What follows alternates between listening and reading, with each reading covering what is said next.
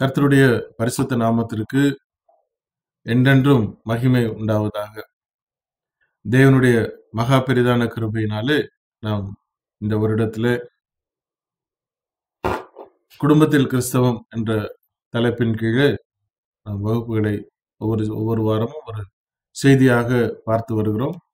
இந்த நாளில நாம் ஏற்ற துணை என்ற தலைப்பிலே காண இருக்கிறோம். இதுவரைக்கும் இதற்கு முந்தைய முந்தைய தலைப்புகளை காண விரும்புகிறவர்கள் இதற்கு முன்பதாக இருபத்தி ஓரு வகுப்பு தொகுப்புகளை நாம் பேசியிருக்கிறேன். நம்முடைய யூடியூப்ல சென்று குடும்பத்தில் கிறிஸ்தவம் என்ற பிளேலிஸ்ட்ல போய் நீங்கள் எல்லா தலைப்புகளையும் நீங்கள் பார்க்க முடியும். இந்த நாளில நாம் எடுத்திருக்கிற தலைப்பு குடும்பத்தில் கிறிஸ்தவம் என்ற கருப்பொருளிலே இந்த நாளிலே நான் எடுத்திருக்கிற தலைப்பு கணவனுக்கு மனைவியானவள் ஏற்ற துணையாய் இருக்கிறாள் என்பது. ஏற்ற துணை.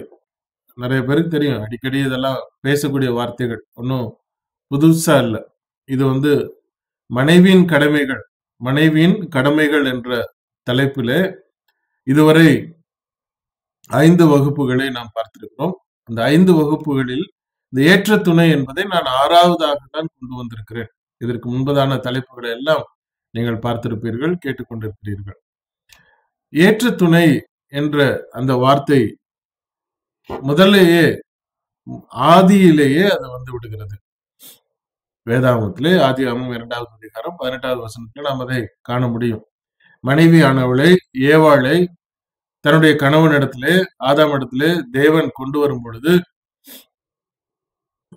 இந்த நோக்கத்துக்கு தான் அதை கொண்டு வருகிறார் என்பதை நாம் யாவரும் அறிவோம். இப்ப ஏற்ற துணை என்று சொன்ன உடனேயே அநேகர் அல்லது கணவன்மார்கள் என்ன நினைத்து கொண்டிருக்கிறார்கள் என்றால் ஏற்ற துணை என்றால் ஏதோ ஒரு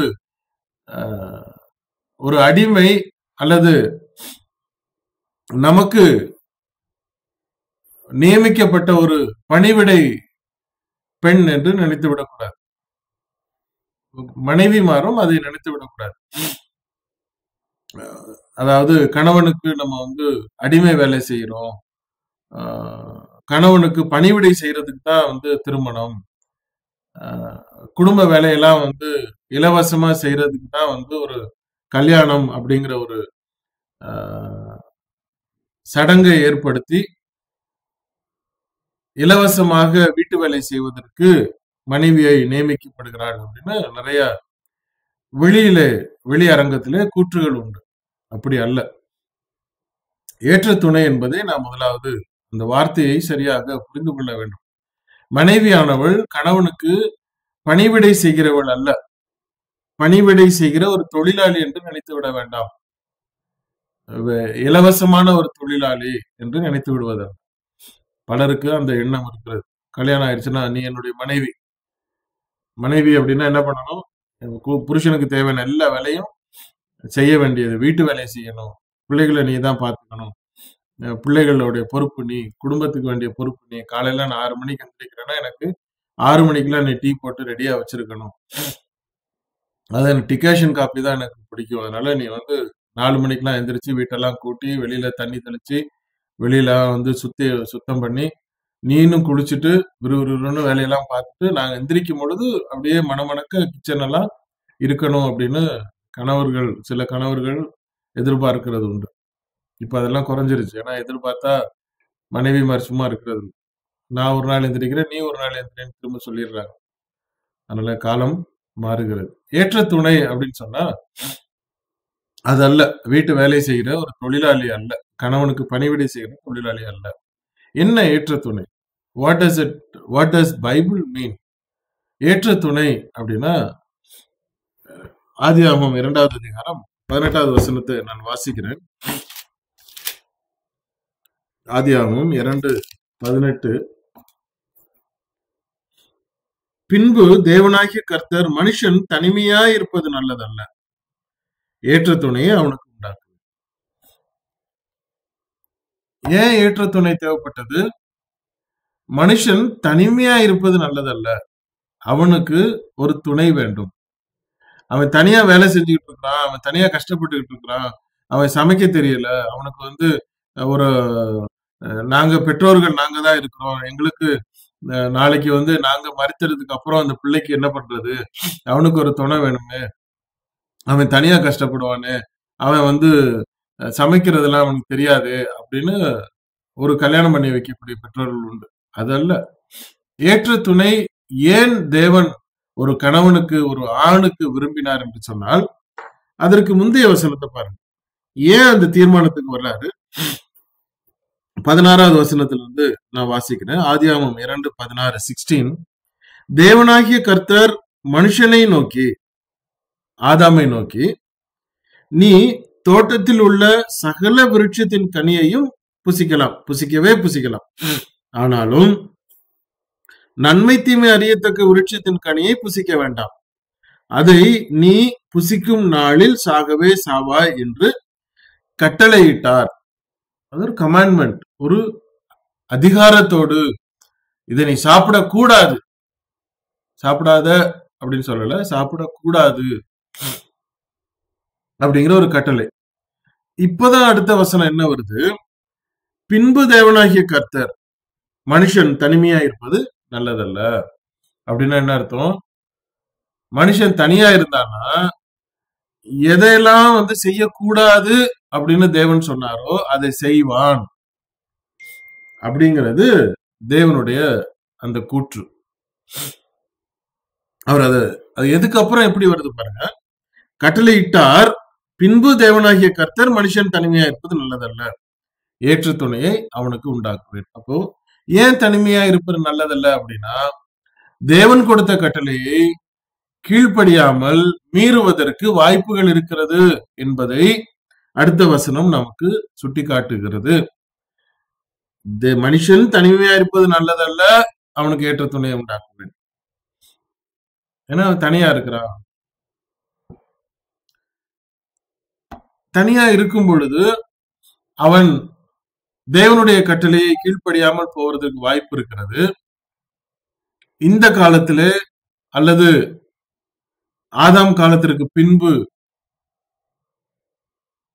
உள்ள காலங்களை யோசித்து பார்த்தோம் என்றால் தேவனுடைய கட்டளையை எப்படியெல்லாம் மீற முடிகிறது. தனியாக இருப்பதனாலே ஒரு ஆண் அல்லது ஒரு கணவன் கணவன் திருமணத்துக்கு அப்புறம் தான் கணவன்.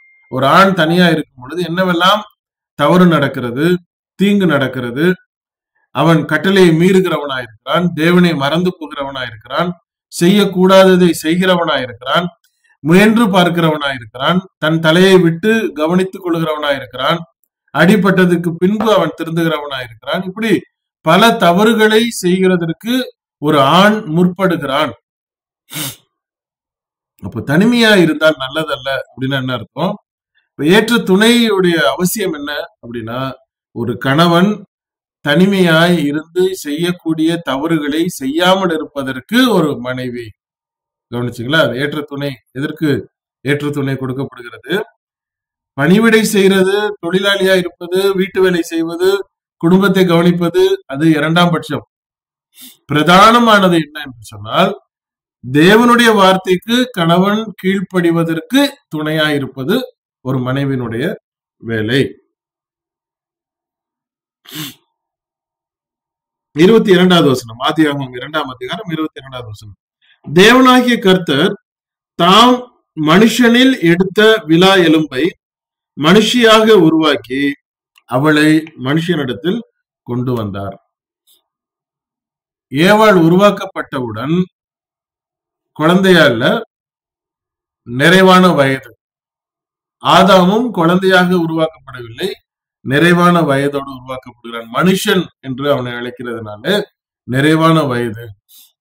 என்னுடைய கேள்வி பதிலில் என்னுடைய கேள்வி பதில் குழுவில் இருக்கிறவர்கள் ஒரு கேள்வி கேட்டிருந்தாரு ஆதாம் இத்தனை வயதுல மறித்தான் அப்படின்னு சொன்னா அவனுக்கு எப்படி வயது கணக்கிடப்பட்டிருக்க முடியும்?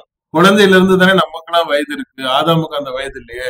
அப்ப எத்தனை வயதுல தேவன் அவனை உருவாக்கி இருப்பார் அப்படின்னு ஒரு கேள்வி கேட்டிருந்தாங்க. நான் அதுக்கு பதில் கொடுத்திருக்கிறேன். நம்முடைய கேள்வி பதில் புத்தகத்துல நீங்கள் அதை பார்க்க முடியும். இப்போ ஏற்ற துணையினுடைய பர்பஸ் என்ன? ஏற்ற துணையுடைய அவசியம் என்ன? மனுஷனானவன் அல்லது கணவனானவன் தேவனுடைய வார்த்தைக்கு கீழ்ப்படிந்து இருக்க வேண்டும் என்பதிலே மனைவியானவள் உறுதுணையாய் கணவனுக்கு இருக்கிறாள். அப்படி நடக்குதா அப்படின்னா ரொம்ப ரொம்ப ரேர் பல இடங்கள்ல பாருங்க. ஞாயிற்றுக்கிழமை தொழுகைக்கு யார் உட்கார்ந்துருப்பாங்க அப்படின்னா பெண்கள் பக்கம் ஒரு ஐம்பது பேர் இருக்கிறாங்கன்னா ஆண்கள் பக்கம் ஒரு அஞ்சு பேர் அல்லது ஏழு பேர் இருப்பாங்க. Not even five percent sorry not even ten percent ஐம்பது பெண்கள் உட்கார்ந்து இருந்தாங்கன்னா அதுல ரொம்ப சொற்பமா கணவன்மார்கள் உட்கார்ந்துருப்பாங்க. ஏன் அப்படின்னா அவர் வீட்டுல தூங்கிட்டு இருக்காரு அவர் வேலைக்கு போயிட்டாரு. வெளியே போயிட்டாரு. ஆனா இந்த அம்மா மாத்திரம் பிள்ளைகளை கூட்டிட்டு ஓடியாந்துருவாங்க. கணவன் என்ன பண்ணீங்க? இப்ப மனைவியினுடைய வேலை என்ன? மனைவி தன்னுடைய கணவனை விட்டு விட்டு சபைக்கு வருவதல்ல. உண்மையை சொல்ல போனால் கணவன் தான் மனைவியை கொண்டு வர வேண்டும். ஆனா இந்த இடத்துல ஏற்று துணையை எதுக்கு எதற்கு உண்டு பண்ணினார் என்றால் கணவன் தேவனுடைய கட்டளையை மீறாமல் இருப்பதற்கு மனைவியானவனுடைய அந்த படைப்பு. அப்போ கணவனுக்கு எந்த வகையிலையும் அவன் தேவனுடைய வார்த்தையை மீறாமல் இருப்பதற்கு ஏற்ற துணையாக ஒரு மனைவி இருக்க வேண்டியது அவசியம். இந்த இடத்துல வேறொரு காரியத்தை நான் கொண்டு வரேன்.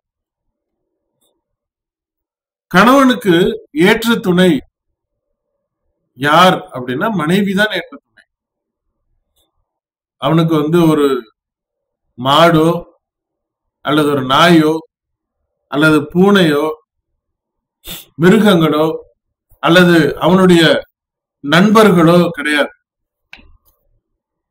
ஏற்ற துணை நல்லா கவனிங்க ஒரு நாயோ ஒரு வீட்டுல வளர்க்கிற அன்பு பிராணியோ செல்ல பிராணியோ அல்லது தன்னுடைய தோட்டத்தில் இருக்கிற ஒரு மாடோ குதிரையோ மிருகங்கள் எதுவுமே துணை அல்ல.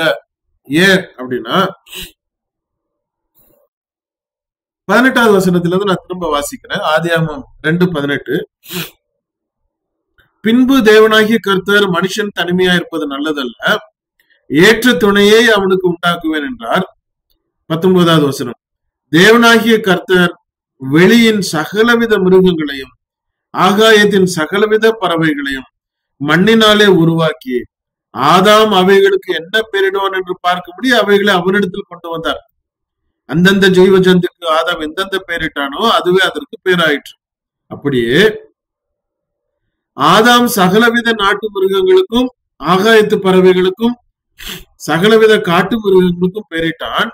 ஆதாமுக்கோ ஏற்ற துணை இன்னும் காணப்படவில்லை. கவனிச்சிங்களா? மிருகங்கள் கூட இருந்தது பறவைகள் கூட இருந்தது காட்டு மிருகங்கள் கூட இருந்தது. எல்லாம் இருந்துமே எல்லாவற்றிற்கும் ஆதாம் பெயர் வைத்துமே அந்த மிருகங்கள் பறவைகள் எதுவுமே அவனுக்கு ஏற்ற துணை இல்லை. சரியில்லை ஏற்ற துணையாக அது இல்லை என்பதை தேவன் டிக்ளேர் பண்ணி இருக்கிறார் ஏற்ற துணை இன்னும் காணப்படவில்லை. அப்பொழுது தேவனாகிய கர்த்தர் ஆதாமுக்கு அயர்ந்த நித்திரையை வர பண்ணினார் அவன் நித்திரை அடைந்தான் அவர் அவன் விழா எலும்புகளில் ஒன்றை எடுத்து அந்த இடத்தை சதையினால் அடைத்தார். தேவனாகிய கர்த்தர் தாம் மனுஷனில் எடுத்த விழா எலும்பை மனுஷியாக உருவாக்கி அவளை மனுஷனிடத்தில் கொண்டு வந்தார். அப்போ கணவனுக்கு ஏற்ற துணை மனைவிதான். நண்பர்களோ மிருகங்களோ செல்ல பிராணிகளோ காட்டு மிருகங்களோ கிடையாது. அதை முதலாவது புரிந்து கொள்ள வேண்டும். ஏற்ற துணை என்பது ஒரு கணவனுக்கு மனைவி. மனைவிக்கு ஏற்ற துணையின் அர்த்தம் என்னென்றால் கணவன் தேவனுடைய வார்த்தையை மீறாமல் இருப்பதற்கு இவள் உதவியா இருக்க வேண்டும். அதுதான் இந்த ஏற்ற துணையினுடைய அவசியமாக வேதாமத்தில் நாம் பார்க்கிறோம். நீதிமொழிகள் முப்பத்தி ஓராவது அதிகாரம் பன்னிரெண்டாவது வசனத்துல மனைவியானவள் என்ன செய்கிறாளாம்? கணவனுக்கு நன்மை செய்கிறாள் என்று வேதாமும் அங்கு சொல்லுகிறது. முப்பத்தி ஓராவது அதிகாரம். இங்க வந்து ராஜாவாகிய லேமுவேலுக்கு அவனுடைய தாய் உப உபதேசித்த வார்த்தைகளில அவர்கள் என்ன சொல்கிறார்கள்? முப்பத்தி ஓராவது அதிகாரம் நீதிமொழிகள் பன்னிரெண்டாவது வசனத்தை பாருங்க. அவள் உயிரோடு இருக்கிற நாளெல்லாம் அவனுக்கு தீமையை அல்ல நன்மையையே செய்கிறாள். ஒரு ஒரு கணவனுக்கு மனைவி என்ன செய்கிறாளாம் நன்மையை செய்கிறாள் அப்படின்னு சொல்லப்படல. இந்த வசனத்தை நல்லா கவனிங்க. பன்னிரெண்டாவது வசனம். அவள் உயிரோடு இருக்கிற நாளெல்லாம் அவனுக்கு தீமையை அல்ல நன்மையையே செய்கிறாள். நன்மை செய்கிறாள் அப்படின்னு மாத்திரம் அல்ல நன்மையையே செய்கிறாள். அதாவது ஒரு மனைவியானவள் தான் செய்கிற எந்த காரியமும் எந்த காரியமும் கணவனுக்கு நன்மையையே ஏ நன்மையையே கொடுக்க வேண்டும். அப்படின்னா வீட்டுக்கு வரும் பொழுது நோய் நோய் நோய் நோய் நோய் நோய்னு காலையில போயிட்டு பேசிட்டு போனதை வந்து வச்சு யோசிச்சு ஒரு நாள் ஃபுல்லா யோசிச்சுட்டு அடுக்கடுக்கா வந்த உடனே அப்படியே தொட தொட தொட தொடன்னு கொட்டிட வேண்டியது. கணவன் வந்து கஷ்டப்பட்டு வேலைக்கு போயிட்டு அவனும் கஷ்டப்பட்டு இல்லை நீங்களும் கஷ்டப்பட்டு பெண்களும் கஷ்டப்பட்டு தான் வேலை செய்யறாங்க இவரு ஊரெல்லாம் போய் ஊரெல்லாம் சுத்தி வேலையெல்லாம் முடிச்சிட்டு வீட்டுக்கு சந்தோஷமா இருக்கலாம் அப்படின்னு வீட்டுக்குள்ள நுழையும் பொழுது காலையில இருந்து யோசிச்சு வச்சதெல்லாம் சமைக்கும் பொழுது யோசிச்சு வேலை செய்யும் பொழுது துணி துவைக்கும் பொழுது பாத்திரம் கழுவும் பொழுதெல்லாம் சிந்தனை அப்படியே ஓடும். இது ஃபர்ஸ்ட் பாயிண்ட் இது செகண்ட் பாயிண்ட் தேர்ட் பாயிண்ட் அதுக்கப்புறம் இதை பேசணும் இதுக்கப்புறம் இதை பேசணும்னு ஃபுல்லா எல்லா பாயிண்ட் பாயிண்டா ரெடியா வச்சுட்டு அவர் வீட்டுக்குள்ள நுழைஞ்சு செருப்பு எடுத்து போட்டுட்டு நுழைஞ்ச உடனே வச்சு செய்யறது. பாயிண்ட்டுகளா அடுக்கிறது. அந்த மனுஷன் ஐயையோ அப்படின்னு டயத்துக்கு வீட்டுக்கு வர மாட்டான். லேட்டா வருவான். அப்போ அந்த கணவனுக்கு அது நன்மையை கொடுக்குமா அப்படின்னா இல்ல. அது தீமையை கொடுக்கிறது.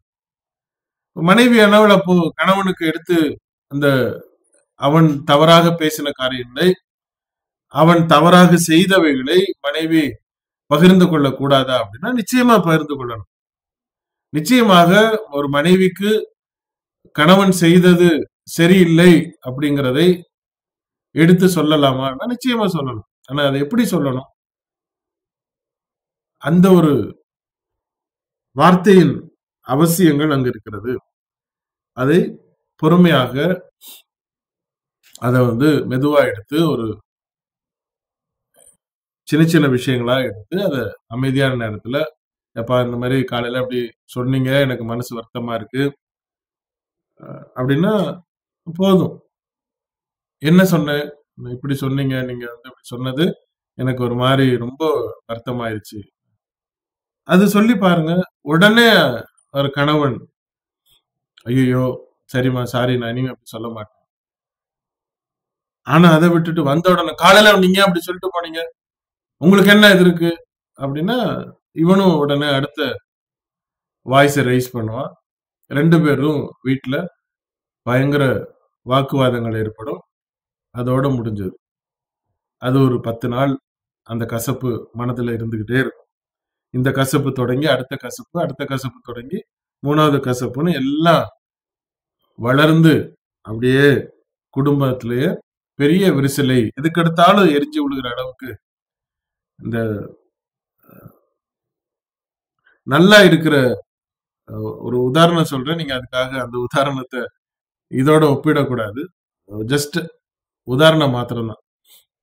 தட்டுல ஒரு சாப்பாடை வச்சுட்டு நம்ம வீட்டுல செல்லமா வளர்க்குற அந்த நாய் சாப்பிட சா- சாப்பிட சொல்லி அதை சாப்பிட கொடுத்ததுக்கு அப்புறம் நீங்க மெதுவா கையை விட்டு அந்த சாப்பாடை எடுத்து பாருங்க. எடுத்துடாதீங்க யாரும். முயற்சி பண்ணாதீங்க. அப்படி எடுக்கிறேன்னா ஒரு குச்சை வச்சு வேணா ட்ரை பண்ணி பாருங்க. என்ன நடக்குது? உங்க செல்லப்பிராணி நீங்க சா- நீங்க வச்ச சாப்பாடை அது சாப்பிடும் பொழுது நீங்க மெதுவா அந்த சாப்பாடை எடுத்த ஒரு குச்சி வச்சு எடுத்து ட்ரை பண்ணுங்க. கை வச்சு ட்ரை பண்ணிடாது என்ன நடக்குதுன்னு பாருங்க.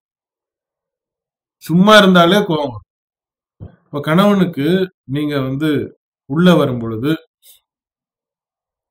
அவனிடத்துல எடுத்து சொல்ல வேண்டிய காரியங்கள் அதற்கு தகுந்தாற்போல் சின்ன சின்ன விஷயங்களா அதை எடுத்து சொல்லும் பொழுது நிச்சயமாக அது அவனுக்கு மனம் மாற்றத்தை கொண்டு வரும்.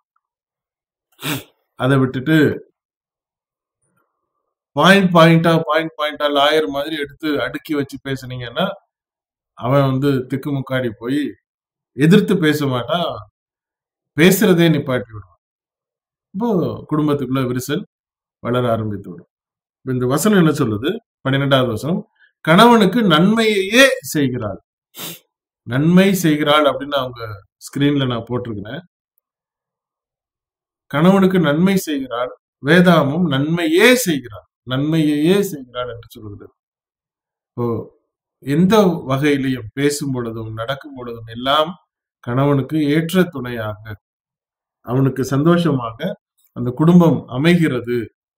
நீங்க சந்தோஷமா இருந்தீங்கன்னா அதாவது மனைவிகள் சந்தோஷமா இருந்தா கணவன்மார்கள் சந்தோஷமா இருக்கிறார்கள் மனைவியும் கணவனும் சந்தோஷமா இருந்தால் குடும்பம் செழிக்கிறது. குடும்பம் எப்பொழுதும் வளருகிறதா இருக்கிறது. தேவன் எதற்கு குடும்பத்தை படைத்தார்? ஆசீர்வாதமா இருக்கணும் தானே படிச்சாரு. சண்டை போடுறதுக்கா படிச்சாரு.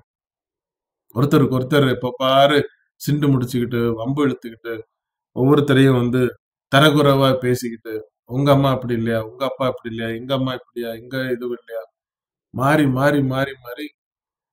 அதாவது நேருக்கு நேரம் ஒருத்தரை ஒருத்தர் ஒப்பிட்டு பார்ப்பதை விட கணவனை குறித்து மனைவி பேசுவதும் மனைவியை குறித்து கணவன் பேசுவதும் அதை விட்டுட்டு கணவனுடைய அம்மாவையும் அப்பாவையும் குறித்து அவர்களுடைய குடும்பத்தாரை குறித்து அதே போல கணவன் மனைவியினுடைய அம்மா அப்பாவை குறித்து குடும்பத்தாரை குறித்து ஒப்பிட்டு பேசும் பொழுது குடும்பத்துக்குள்ளே சமாதானம் குறைவு ஏற்படுகிறது. கணவனுடைய சரீரம் மனைவி மனைவனுடைய சரீரம் கணவன். இவர்கள் இருவரும் ஒன்றாய் இருக்கிறார்கள் அதை ஓப்பனாக காரியங்களை பேசி எடுத்து அதை சரி செய்யணும் ஒழிய மற்ற குடும்பத்தை மற்ற குடும்பம்னா மற்ற சரீரத்தை மனைவியின் வீட்டையோ கணவனுடைய வீட்டையோ ஒப்பிட்டு பேசும் பொழுது குடும்பத்துக்குள்ள அது எப்பொழுதும் சங்கடத்தை கொண்டு வருகிறது.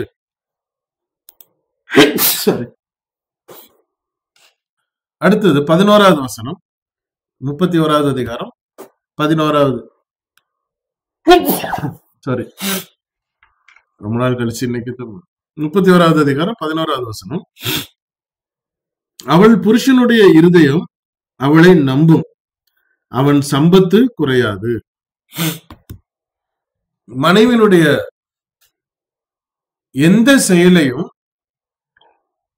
செய்யும் பொழுது புருஷன் அதை நம்புகிறவனா இருக்கிறான். எப்ப அதை நம்புறான்?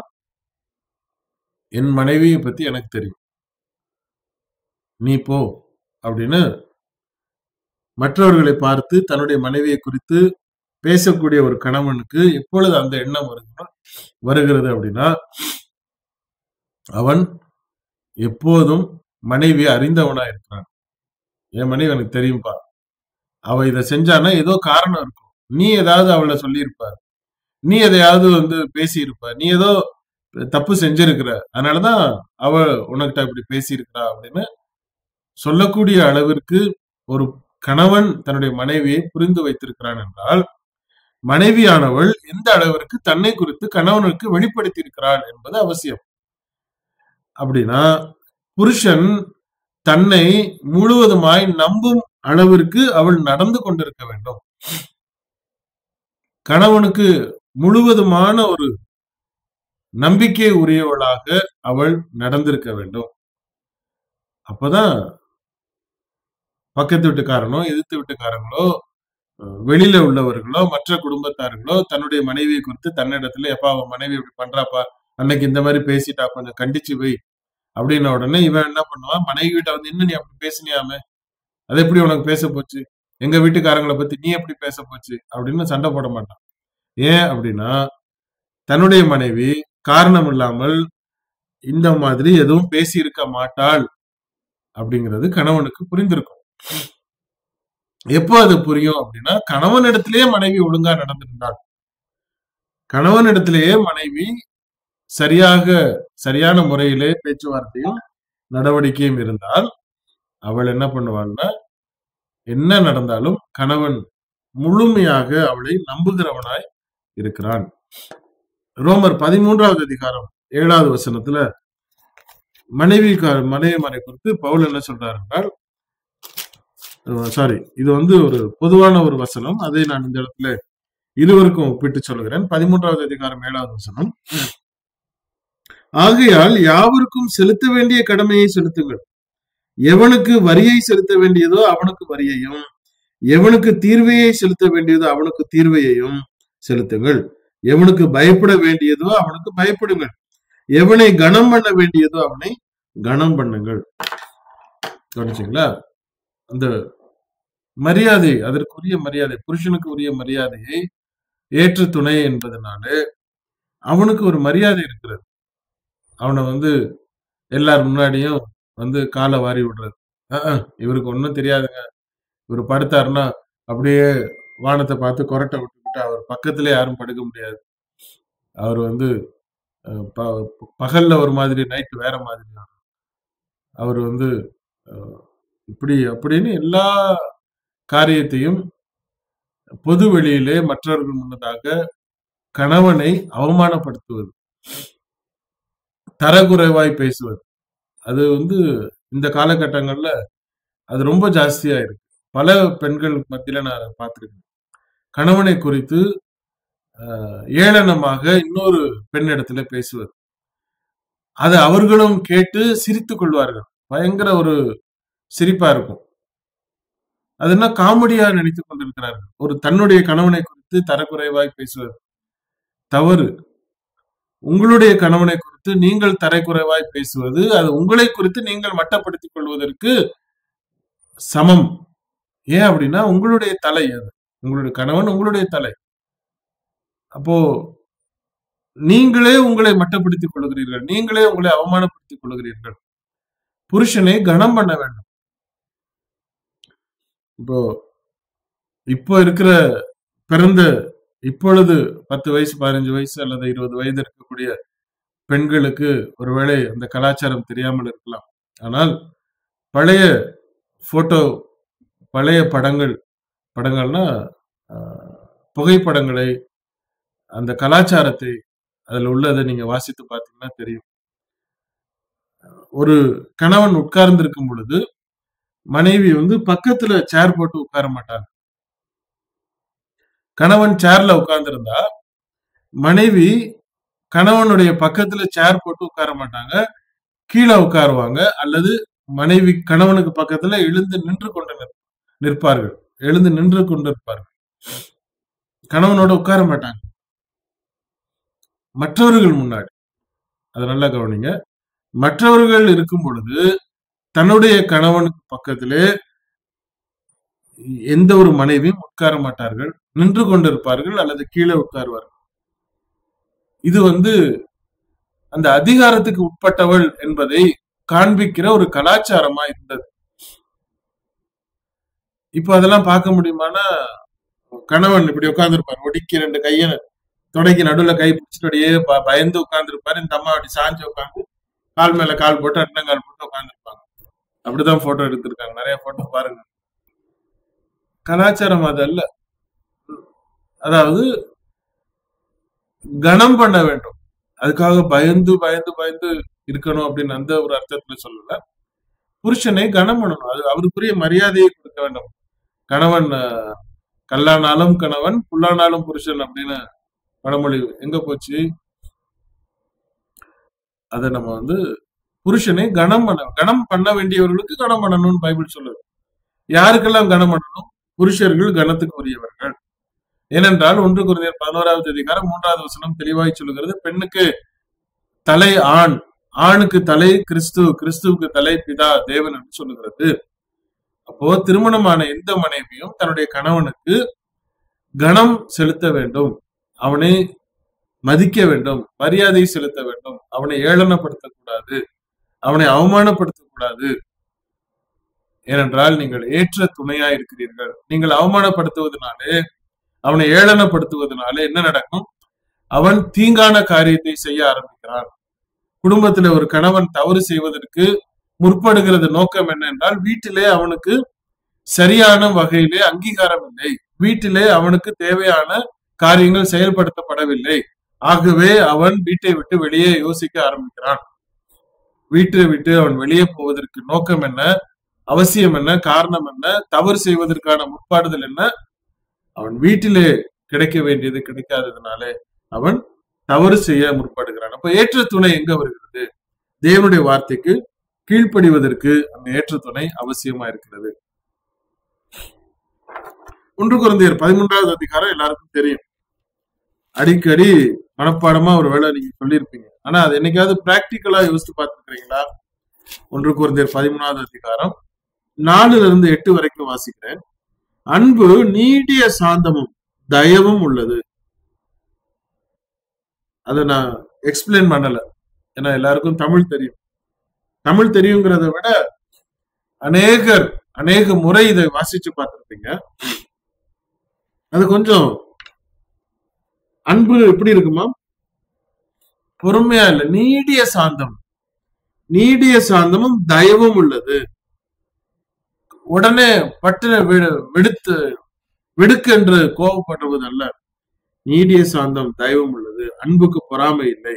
அன்பு தன்னை புகழாது இருமாப்பாயிராது அயோக்கியமானதை செய்யாது தற்பொழிவை நாடாது சினம் அடையாது.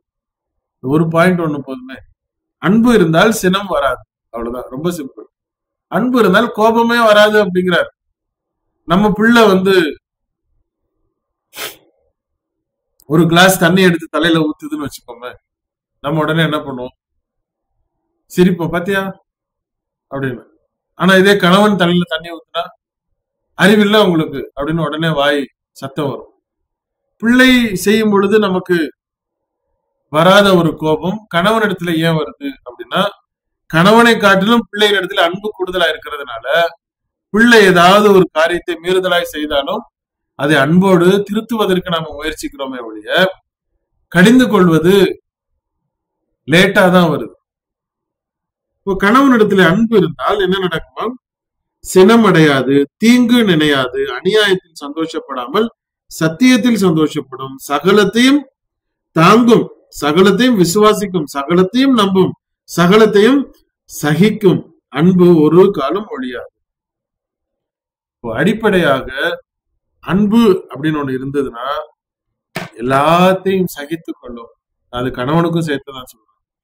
கணவனுடைய போஷனை இதுக்கு முன்னாடி நம்ம படிச்சு முடிச்சிருக்கோம் அதனாலதான் வந்து மனைவியை ஃபோக்கஸ் பண்ணி இப்பொழுது நாம் பேசி கொண்டிருக்கிறோம். இப்போ புருஷனின் மீதான அன்பு இருந்தால் அதனுடைய விளைவுகள் என்ன?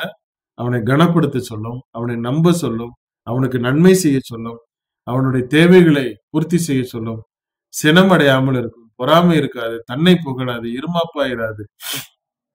தேவனுடைய வார்த்தைக்கு கீழ்ப்படிந்து அவனுக்கு ஏற்ற துணையா இருக்க இப்பொழுது மனைவியானவள் இருக்கிறார் நாம் மீண்டும் இன்னொரு தலைப்பின் கீழே அடுத்த வாரத்திலே நான் உங்களை சந்திக்கிறேன். ஜபம் செய்வோம். எங்களை அதிகமாய் நேசித்து வழி நடத்துகிற அன்பின் தகப்பனே கணவனுக்கு ஏற்ற துணையை ஏற்படுத்தி கொடுத்து ஒவ்வொரு குடும்பமும் சந்தோஷமாய் செழிப்பாய் இருக்க வேண்டும் என்று நீர் கொடுத்ததான இந்த ஆலோசனைகளுக்காக நாங்கள் நன்றிகளை செலுத்துகிறோம். தகப்பனே எங்களை நீ தொடர்ந்து வழிநடத்தும். வார்த்தைகளினாலே நாங்கள் இன்னும் போஷாக்காக வளர உதவித்தாரும் எல்லாவற்றையும் எங்கள் ஆண்டவர் இயேசு கிறிஸ்துவின் நாமத்திலே ஜெபிக்கிறோம். ஜீவனுள்ள தேவனே. ஆமென். தேவனுடைய நாமத்தினாலே நான் உங்களை வாழ்த்துகிறேன். தொடர்ந்து இந்த வகுப்புகளை பாருங்கள். அநேகருக்கு அதை பகிர்ந்து கொடுங்கள். அநேகரை இதை பார்க்க சொல்லுங்கள். யூடியூப்ல எப்பொழுதும் இந்த தொகுப்பு நான் ஆன்லைன்ல கொடுத்திருந்தாலும் எந்த நேரத்திலும் இந்த வகுப்புகளை நீங்கள் பார்க்க முடியும். ஆகவே அநேகருக்கு ஒவ்வொரு குடும்பத்திற்கும் இதை பார்ப்பதற்கு நீங்கள் இந்த தொடரை முழுவதையும் பார்ப்பதற்கு நீங்கள் அவர்களுக்கு உற்சாகப்படுத்துங்கள். தேவன் தாமே நம்மை தொடர்ந்து ஆசீர்வதிப்பாராக. ஆமேன்.